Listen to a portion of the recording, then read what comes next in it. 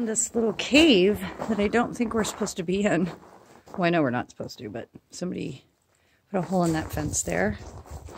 This is pretty cool. Somebody's car seat, I think.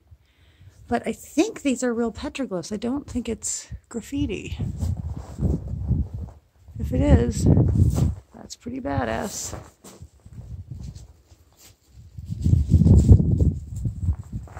Mm-hmm. You hear more. All rocky. It's kind of cool. So we're gonna keep exploring this little cave thing. Of course, there has to be some graffiti because what would America be without that? Okay, there's timber.